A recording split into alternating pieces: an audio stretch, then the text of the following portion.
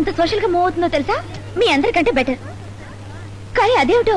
ఆవిడ ఏ పని చేసినా బాత్రూమ్లోనే బట్టలు మార్చుకోవాలన్నా బాత్రూమే నేను బట్టలు మార్చుకుంటున్నా బాత్రూమ్లో.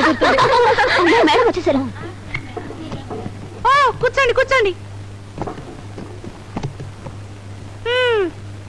నేను మీకు కొత్త మీరు నాకు కొత్త. అని మేమెవ్వరం ఫీల్ అవ్వట్లేదు. మీ గురించి మీ రూమ్మేట్ మాకంతా చెప్పింది. ఓ I see thank you Soundarya. ఇవాళ ఏమిటి మన క్లాసు? ఫిజిక్స్ ఓ ఫిజిక్స్ ఇది ఒక విచిత్రమైన సబ్జెక్ట్. ఇందులో ప్రతి యాక్షన్కి రియాక్షన్ ఉండడం అనేది ముఖ్యమైన పాయింట్. ఉదాహరణకి ఒక కుక్క తనకి ఇష్టమైన కుక్కను చూడటం. యాక్షన్ అయితే అలా చూసినప్పుడు ఆ కుక్క ఒంట్లోంచి కరెంట్ పాస్ అయ్యి దాని తోక ఇలా ఇలా ఇలా ఆడించటం రియాక్షన్. మరి మనుషులైతే మనుషులకు తోక ఉండదు కదమ్మా ఆడించడానికి. కానీ కరెంటు మాత్రం పాస్ అవుతుంది. పాస్ అయ్యి పెదాలు ఆడటం కళ్ళు కొట్టుకోవడం బుగ్గలు ఎరుపెక్కడం ఇలాంటివన్నీ జరుగుతాయి. ఎనీ డౌట్స్ డౌట్లే లేవు మేడం. కానీ మీ ఫేస్లో గ్లామర్ ఎలా మెయింటైన్ చేస్తున్నారు. ఏముంది? డైలీ షేవింగ్ చేసి. ఓ I mean saving. Energy saving Soundarya. మరి మీ పర్సనాలిటీ ఎలా మెయింటైన్ చేస్తున్నారు మేడం? ఆ పర్సనాలిటీ అంటే ఎక్సర్సైజ్లు గేమ్స్. ఏ గేమ్స్ మేడం? గేమ్స్ అంటే కబడ్డీ. ఓ కబడ్డీ. మేడం మేమంతా కబడ్డీ ప్లేయర్స్. మీరు ఒక్కసారి మాతో కబడ్డీ ఆడాలి. అయ్యో నాకు ఇప్పుడు ప్రాక్టీస్ పోయింది. Madam please madam.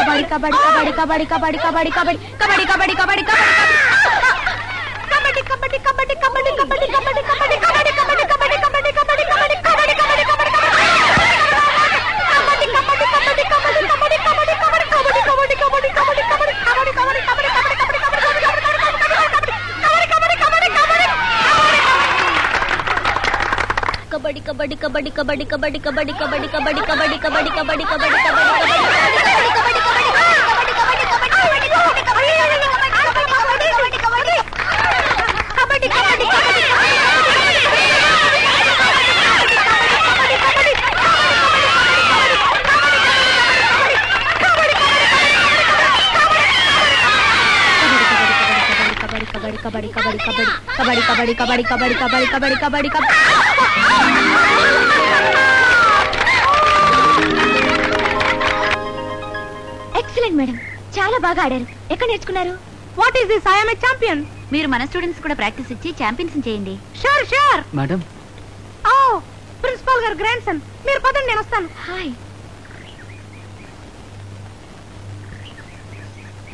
ఏంట్రా? సాయంత్రం రమ్మన్నాగా పద. ప్రస్తుతం ఆ ప్రోగ్రామ్ క్యాన్సిల్. ఏ? నేను చెప్పానే బర్త్ సర్టిఫికేట్ అని. ఇప్పుడు నా రూమ్మేట్ సూపర్.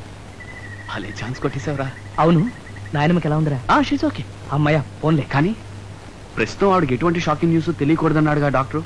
ఎప్పుడు చూసినా సరోజిని సరోజిని అని నిన్నే కలవరిస్తోంది. రే చెప్పా చేయకుండా ఎక్కడికైనా చెక్కేసావు రోయ్ చెప్పి కూడా ఎక్కడికి చెక్కాను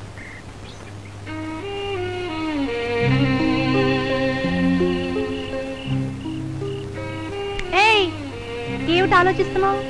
Madam marriages are made in heaven అన్నారు కదా?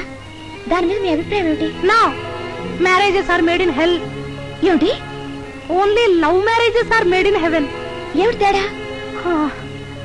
ఇప్పుడు మీ ఇంట్లో వాళ్ళు మీ అక్కయ్యకి చూసే కదా పెళ్ళి చేశారు.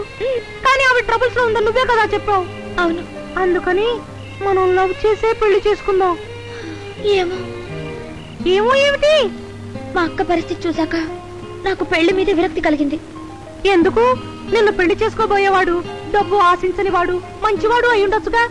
నాకు నమ్మకం లేదు. నన్ను పెళ్ళి చేసుకునేవాడు బాగా డబ్బున్నవాడై ఉండాలి.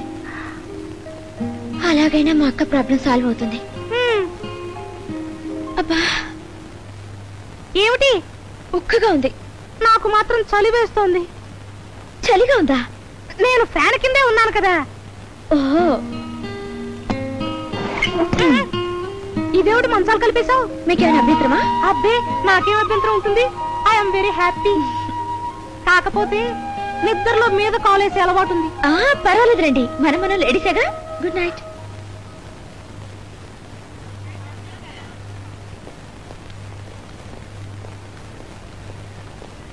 నానా ఏమైంది నానా పదివేలు డొనేషన్ ఇస్తేనే గాని సీట్ ఇవ్వనందమ్మా వైస్ ప్రిన్సిపాల్.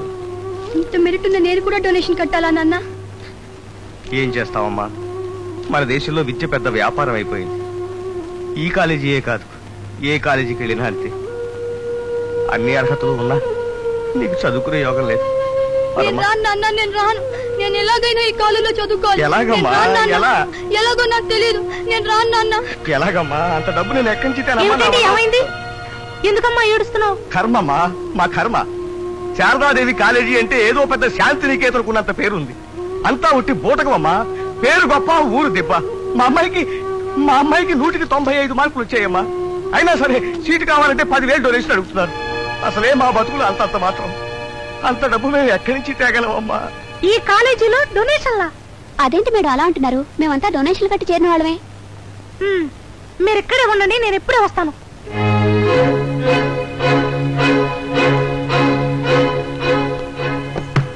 ఎక్స్క్యూజ్ మీ మన కాలేజీలో సీట్ ఇవ్వాలంటే డొనేషన్ వసూలు చేసే సిస్టమ్ ఏమైనా ఉందా? అలాంటి సిస్టమ్ లేకపోతే కాలేజీలు ఎలా రన్ అవుతాయమ్మా? మరి శారదాదేవి గారు ఈ కాలేజీని ఒక ఆదర్శంతో స్థాపించారని చెప్పారే. ఆదర్శాలు అన్నం పెట్టవమ్మా. ఊరికే మాట్లాడుకోవటానికి బాగుంటాయి. లాబొరేటరీలు లైబ్రరీలు వంటి కార్యక్రమాల కోసం డబ్బు వసూలు చేస్తున్నావు ఏ తప్ప? తప్ప ఒప్పో ఇప్పుడే తెలుస్తాను. ఎవరికి ఫోన్ చేస్తున్నావు? శారదాదేవి గారికి. ఆగమ్మా ఆగు. ఎందుకలా తొందరపడతావు? చూడమ్మా అకౌంటెంట్. ఒక్క నిమిషం బయటికి వెళ్తావా? చూడు సరోజిని ఈ మనసులో పావు నాకు అర్థమైంది. ఉమ్, ఏమిటి? లంచం ఇస్తున్నారా? కాదు నీ వాట. పైగా పెళ్ళి కావలసిన పిల్లది రేపు కట్నం అది ఇచ్చుకోవద్దు. ఆ, అయ్యో వచ్చిన డబ్బంతా నేనే నొక్కేయడం లేదమ్మా. ఎవరి వాటా వాళ్ళ మొహాన కొడుతున్నాను. అంతెందుకు? అకౌంటెంట్ కూడా యాభై వేలు ఇచ్చాను. అకౌంటెంట్ గారు! ఏమిటి మేడం? డొనేషన్ల కలెక్షన్లో మీ వాటా ఎంత? నాదే ఉందమ్మా. చార్లో కరేపాకంత. పదిహేను వేలే. కమిషన్లో మళ్ళీ కమిషనా? అంటే? ఇందాక యాభై వేలని చెప్పారు. అది స్పెల్లింగ్ మిస్టేక్. చాలా ఊరుకోండి. ఇరవై నాలుగు గంటల టైం ఇస్తున్నాను. ఈలోగా ఎవరెవరి దగ్గర ఎంతెంత డొనేషన్ కలెక్ట్ చేశారో మొత్తం లెక్క కట్టి తిరిగి ఇచ్చేయండి. ఇందాక నుంచి చూస్తున్నాను. ఏమిటి దబాయింపు? మేమేమో. ఏం చేస్తావు? ఏం చేస్తానా? ఇప్పుడే శారదాదేవి గారికి ఫోన్ చేసి మిమ్మల్ని పోలీసులకు అబ్బబ్బే, అదంతా ఎందుకమ్మా? తిరిగి ఇచ్చేస్తాం. ఇచ్చేస్తాం. మ్మ్. చూడండి బయట ఒక పిల్ల కూర్చుని ఏడుస్తుంది. మార్కులు బ్రహ్మాండంగా వచ్చినాయి. సీట్ ఇవ్వండి. అలాగే. ఆ? అలాగే. ఆ. మరేం పర్వాలేదమ్మా? నువ్వే డొనేషన్ కట్టకుండానే సీట్ ఇచ్చేశారు. ఆ, తప్పు. అలా చేయకూడదు. మీరు వెంటనే వెళ్ళి ఫీజు కట్టి జాయిన్ చేయండి. మంచి పని చేశారు మేడం. ఆ అమ్మాయికి ఏ డొనేషన్ లేకుండా మీరు సీట్ ఇప్పించారు. సర్లే మీ అందరూ వెళ్ళి మీరు కట్టిన డొనేషన్ ఆఫీస్లో కలెక్ట్ చేసుకోండి. ఇదిగో ఆ మిగతా వాళ్ళందరూ కూడా చెప్పండి.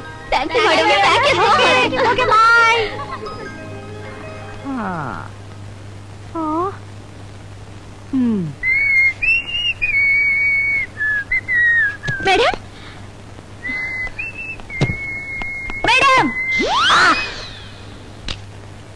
లోపల ఏం చేస్తున్నారు? మొహం కడుక్కున్నా. అబ్బా మొహం కడుకోవడానికి బాత్రూమే డ్రెస్ మార్చుకోవడానికి బాత్రూమే.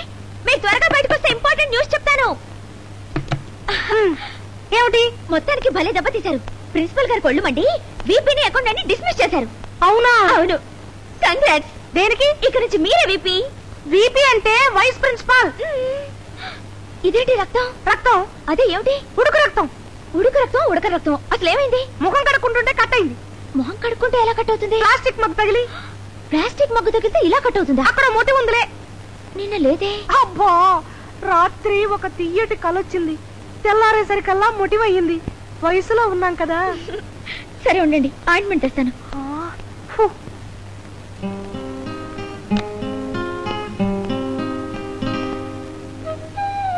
ఇప్పుడు ఎలా ఉంది? హాయిగా ఉంది. ఇలా నువ్వు రాస్తూ ఉంటే రోజు తెగ్గోసుకోవాలనుంది. మీరు ఎప్పుడు సెల్లిగా మాట్లాడతారు. అవును?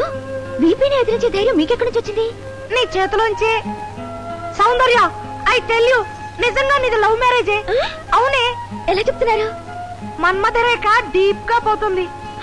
మీకు చేతి రేఖలు చుట్టవచ్చా కాలు రేఖలు చూడటం కూడా వచ్చు. ఇప్పుడు వద్దులే. ఈ పాటికే నువ్వు నీ లవర్ని కలిసి ఉండాలి. లేదే. బహుశా అతనే నీ లవర్ అని నీకు తెలిసి ఉండకపోవచ్చు. ఎనివే. నువ్వు డెఫినెట్గా అతను కలుస్తావు. మన్మధరేఖ నీ అరచెయ్యి దాటి మో చెయ్యి దాకా పోతుంది. చూస్తుంటే నీకు కళ్యాణ గడియలు దగ్గరకు వచ్చేసినట్టున్నాయే.